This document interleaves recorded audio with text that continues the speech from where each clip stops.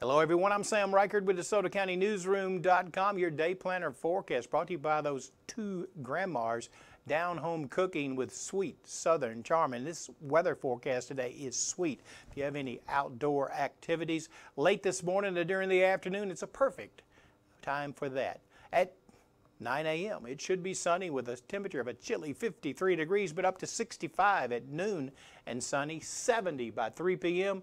and 6 p.m. We're down to 67 degrees. I'm Sam Rikard. Thanks for watching.